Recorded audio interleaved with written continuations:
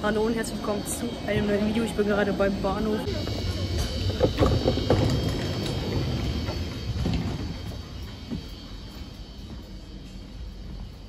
Wir können uns hier hinsetzen. Yay, endlich ist der Zug leer. Wir fahren heute nach Salzwedel, Leute. Ich krieg das nicht hin. Mit der Brille? Ich habe noch irgendwo das Anti-Beschlagtuch von mir zu liegen, aber ich muss gucken erstmal wo. Ich habe das schon lange nicht mehr benutzt. Die Die Brille. Maske rutscht runter. Nee, du musst die Brille schon gucken, dass sie wirklich richtig sitzt, wie die normalerweise sonst sitzt.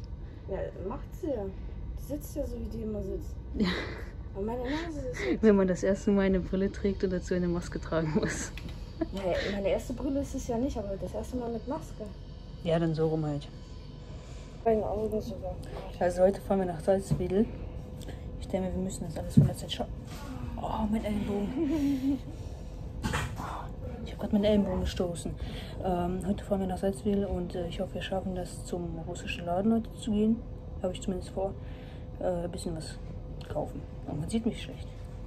Habe ich nicht so drauf geachtet. Mir ist voll warm. Meine Brille beschickt aber auch ein bisschen. Sieht man das? Gott gar nicht. Ja, ist doch gut. So, wir sind jetzt schon auf dem Weg, der Zug fährt schon. Und der ist schön leer. Dankeschön fürs Geschenk. Siehst Vielen Dank. live. Was hast du bekommen? Tee, Gift.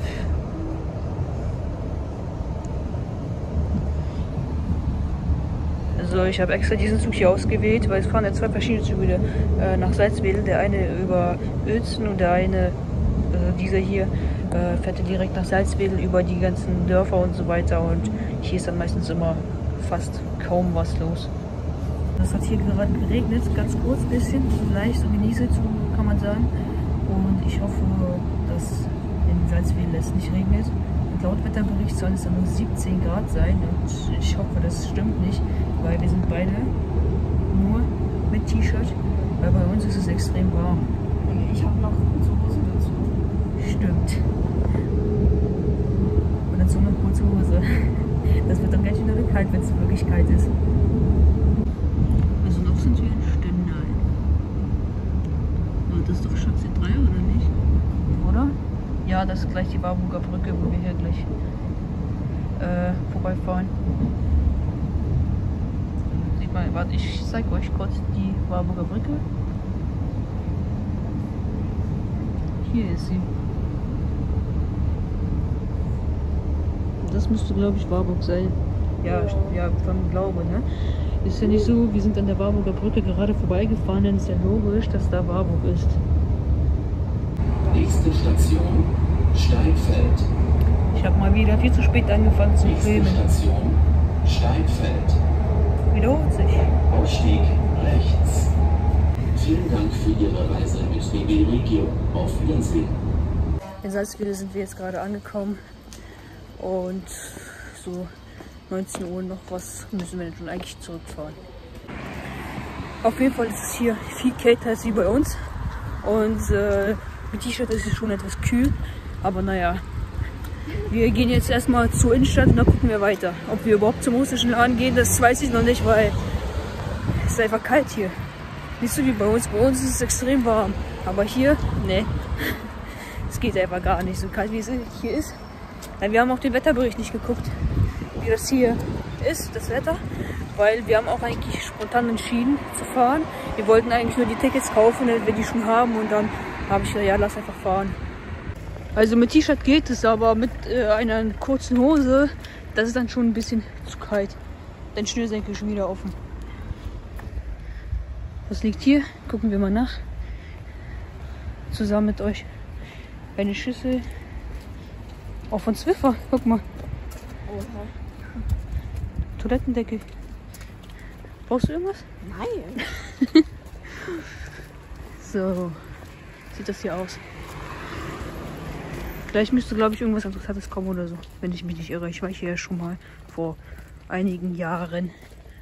Und das letzte Mal, wo ich allgemein in Salzwedel war, das war das letzte Video, was ich gemacht hatte. Da waren wir beim russischen Laden, haben was gekauft. Aber das ist schon, äh, ich glaube, zwei Monate her. Also im Juni war das. Da ist noch mehr Sperrmüll. Braucht ihr was? Jetzt guckt mal, Leute.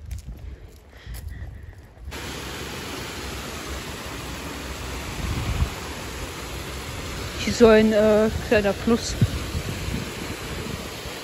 Da liegt Müll. Zwei kleine Flaschen. Da ist eine Telefonzelle.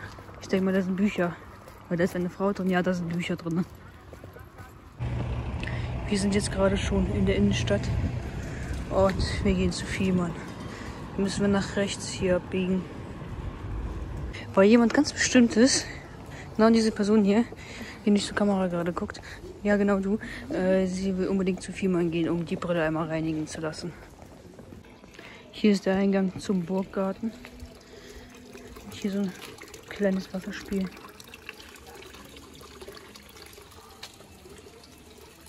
Aber da gehen wir jetzt nicht hin.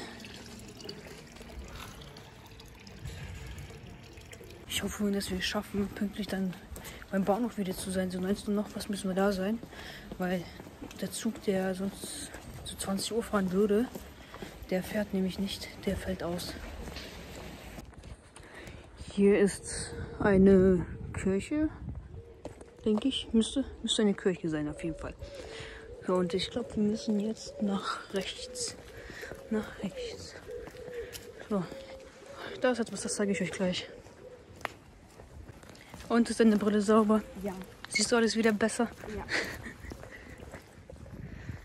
Was soll das sein? Ah, da steht was, da steht was dran, aber da gehe ich jetzt nicht hin, um zum gucken. So, ich muss gucken, wie wir jetzt lang gehen müssen. Auf Google Maps.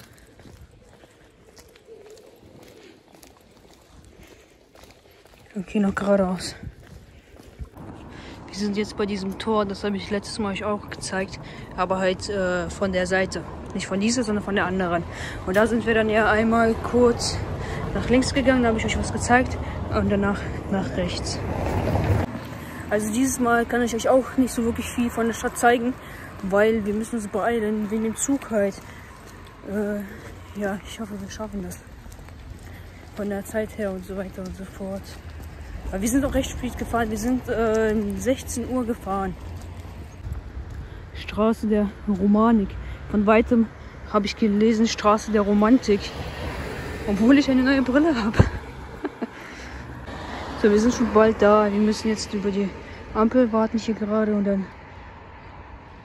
Da sieht man jetzt auch schon Kick und so. Wir sind schon da, kann man sagen. Äh, wir gehen jetzt nochmal schnell zur Sparkasse und dann gehen wir zum russischen Laden und danach zum Bahnhof. Also wir haben diesen Kuchen hier genommen und noch ein paar andere Sachen. Die werden gerade in die Kühltasche gepackt. Der Kuchen passt leider nicht rein. Ich hoffe, dass der nicht so doll auftaut, bis wir dann zu Hause ankommen. Guck mal, wie der aussieht mit Gelee. Ein Stückchen. Sieht auf jeden Fall interessant aus. Habe ich, glaube ich, so einen noch nie gegessen. Das mit Vanille. Und wir sind schon auf dem Weg zum Bahnhof. Wir haben noch so eine Kühltasche gekauft für den Kuchen, damit er schön kalt bleibt. Wir haben noch eine ganze Stunde Zeit, bis der Zug fährt. Und ja, ich weiß nicht, was ich sagen soll. Ich hoffe, das Video ist nicht zu kurz geworden. Ich hoffe, das Video war auch interessant für euch. Und ich denke mal, ich hoffe, dass wir noch äh, die Tage, also diesen Monat, nochmal herkommen und dass ich euch dann die Stadt ein bisschen zeigen kann. Dass ich dann die Stadt ein bisschen filme. Also die ersten paar Minuten, wo wir aus dem Zug ausgestiegen sind und hier in Salzwedel angekommen sind, äh, da war es ja richtig kalt und so. Aber mittlerweile empfinde ich, dass es mehr als nur warm ist. Also mir ist auf jeden Fall warm. Sind wir hier? Das sieht interessant aus. So sieht das hier gerade aus, wo wir lang gehen. Vielleicht da vorne irgendwie eine Schule oder so? Könnte auf jeden Fall irgendeine Schule sein oder sonst irgendwas oder irgendein, keine Ahnung. Was das ist, ich weiß es nicht, Leute. Wir brauchen nicht mehr lange. Aber wir sind ja schon fast da. Das, das Gebäude ist das, das ist bestimmt schon der Bahnhof. Das Gebäude da. Ja, wir sind schon da, kann man sagen. Ich hoffe, das wackelt nicht so doll. Weil ich habe das Gefühl, es wackelt ein bisschen doll die Kamera. Ich bin mir gerade unsicher, ob ich euch den Bahnhof hier innen drin schon gezeigt habe heute oder nicht.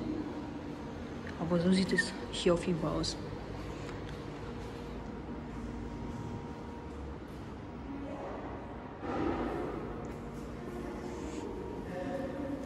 Guckst du die Speisekarte an?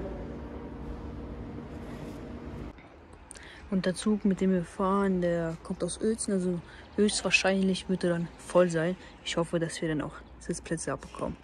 Weil mit dem wir hierher gefahren sind, der war leer, das war auch ein anderer, der fährt durch die ganzen Dörfer und der jetzt, mit dem wir fahren, der fährt halt von Uelzen nach äh, Magdeburg, wenn ich mich nicht irre. Ja, nach Magdeburg.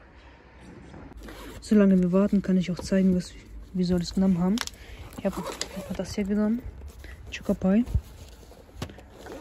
Dann, oh, mit einer Hand ist nicht so leicht gerade. Suchareki. Das ist, äh, ich weiß schon wieder nicht, wie das auf Deutsch heißt. Zwieback steht das? Das muss doch bestimmt irgendwo da drauf stehen. Irgendwo muss, muss wird doch bestimmt auch auf Deutsch was stehen. Schwarzbrot-Croutons mit Bacon-Geschmack. Und hier geht es weiter in der Kühltasche. Einmal Wurst. Dann halt diese Riegeln. Alle möglichen äh, Sorten. Alle Sorten eigentlich, die es gab. Das ist mit. Steht das? steht auf, Deutsch sogar. Mit einer Füllung mit gezuckertem Kondensmilch. Oh, ist Guschonka. Ja, lecker. So. Warte, ich will kurz zeigen. Äh, Vanillegeschmack. Das müsste Kokos. Dann einmal mit Gelee-Stückchen. Das ist das, was ich gegessen hatte. Das ist mit Schokoladengeschmack und Stückchen. Das war's, ja? Ja, glaub schon. Ja, müsste. Kriegst du es nicht zu? Doch, doch. Ich habe diese kleine Kühltasche bestellt gehabt für unterwegs, damit man sich was zu essen zum Beispiel mitnehmen kann und so weiter und so fort. Und da wir den Kuchen gekauft haben, mussten wir noch eine größere kaufen, äh, damit der halt reinpasst. Weil die andere wäre ja nicht reingepasst und äh, ja, ah, hier ist ja auch noch was. Ah, stimmt, der Mayo haben wir auch noch genommen. Der russische Mayo, weil der deutsche Mayo schmeckt einfach nicht. Und sonst habe ich immer Remoulade gekauft, aber die gibt es momentan nirgendwo zu kaufen. Und das ist ja gut. Die Nummer 1 in Russland. Mayo. Und der Kuchen halt, den habe ich euch eigentlich ja schon gezeigt. So. Der Boden ist aus Holz. Fahrstuhl gibt es hier. Wir müssen zugleich zwei. Ja, also nichts Besonderes gibt es hier. Gleis, das ist gleich Gleis 1. Wir müssen noch weitergehen. Warte, gibt es hier noch zwei? Nein. Wie? Hä? Aber da steht nur eins. Ich gehe mal kurz gucken. Wir haben sowieso noch etwas Zeit. Somit kann ich euch auch noch mal besser den Bahnhof zeigen. Ja, das stimmt. Da fehlt die Beschriftung. Das ist aber echt blöd, dass da die Beschriftung fehlt.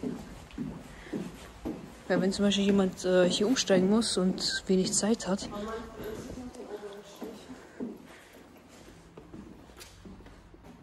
Ja, dann gehen wir hoch. Sieht voll komisch aus. Ich habe diese Kühltasche. Und auch die Sonne kommt raus, oder? Ah nee, das ist nur das Licht. Hier, davon das Licht. Nur ich dachte, die Sonne kommt raus. So, wir sitzen jetzt im Zug. Ich bin komplett erfroren. Ja, also es war total kalt. Und äh, also beim Bahnhof war es kälter als wie außerhalb des Bahnhofs. Wir werden einfach beobachtet. Das ist ein Auge. So, und wir fahren. Was guckst du so? Abonnieren und Like darstellen.